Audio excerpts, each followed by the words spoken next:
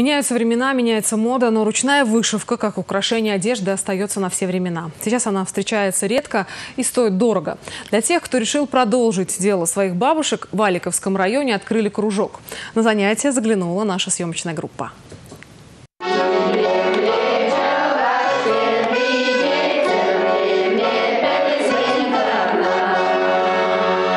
В далеком прошлом уже в три года девочку учили шить и вышивать. В 7-8 лет она начинала готовить себе приданное. А перед свадьбой, то есть к 16 годам, должна была иметь праздничную и будничную одежду, скатерти, полотенца и другие предметы быта, которых должно было хватить на несколько лет. Рисунки содержали родовые символы и специальные знаки, которые считались оберегами от бед и болезней. Сейчас на то, чтобы освоить разные техники вышивки в школах, есть только несколько уроков труда. Для тех, кто хочет знать и уметь больше, в Валиковском литературно-краеведческом музее открыли клуб.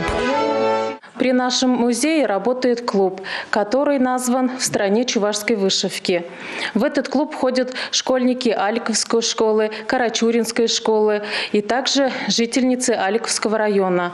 Они с удовольствием посещают этот клуб по интересам, так как самый главный, наверное, интерес в их жизни – это вышивка, именно чувашская вышивка. Каждая женщина творит здесь по-своему. Кто-то вышивает чувашское платье, кто-то вышивает скатерти, а кто-то делает просто салфетки и игольницы.